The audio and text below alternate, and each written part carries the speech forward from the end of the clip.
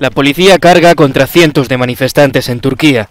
Pelotas de goma y gases lacrimógenos para dispersar a las cientos de personas que habían salido a la calle para reivindicar los derechos LGTBI.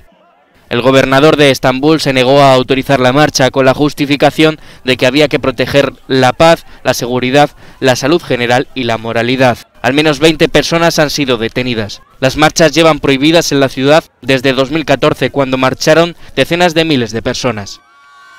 En Francia, miles de personas han celebrado que podían volver a estar juntos en el orgullo después de un año y medio de pandemia.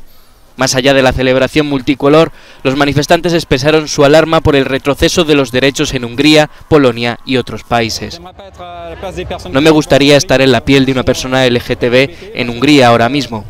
No es tan fácil como en Francia. Aquí tenemos suerte. Es bastante triste lo que está pasando allí.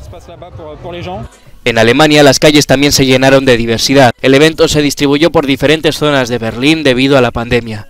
Muchos salieron más empoderados tras la defensa rotunda de Merkel de los colores LGTBI en el estadio de Múnich, frente a la decisión de la UEFA de no autorizarlos. Lo más destacable de la polémica de la UEFA es que ha trasladado la cuestión a otros ámbitos, concretamente al político. De hecho, Angela Merkel se ha pronunciado por primera vez sobre la legislación en Hungría y ha dicho que es inaceptable. Miles de personas participaron también en el Orgullo de Roma, donde este año han reivindicado que cuanto antes salga adelante el proyecto de ley contra la homofobia de Zan, una reforma que ha suscitado un acalorado debate en el país.